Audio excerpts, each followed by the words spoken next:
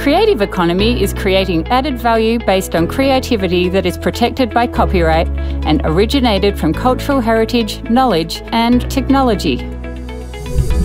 The most important thing in creative industry is talent, including arts, culture based activities, and commercial purposes. There are three aspects that make creativity as cultural industries 1. Creation, 2.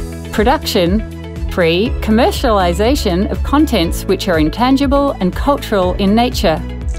From 2003 to 2011, the creative goods and services sector grew 134%, according to the United Nations Conference on Trade and Development. This means that the creative industry has increased by 15% every year. According to data from the World Bank in 2015, globally, revenue of 11 creative economy sectors reached $2,250 billion. This number is equivalent to the total GDP of 10 Asian countries. If stacked into a single column, $2,250 billion will reach half the distance between the Earth and the Moon.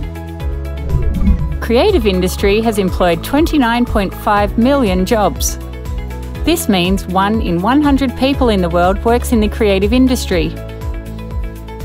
In less than three years, Indonesia's creative economy has contributed up to 7.3% of the country's GDP, or 852 trillion rupiah. In 2015, the creative economy had an export value of US $19.4 billion and absorbed 15.9 million workers. It means every 14 out of 100 people in Indonesia has a job in the creative industry. In January 2015, Indonesian President Joko Widodo established the Indonesian Agency for Creative Economy, Joko Widodo believes that creative industries are the future of Indonesian industries. Indonesia is holding the first ever World Conference on Creative Economy in November 2018 in Bali. Representatives of multi stakeholders from governments, private sectors, think tanks, civil society, international organisations, as well as media and experts in this area will be involved.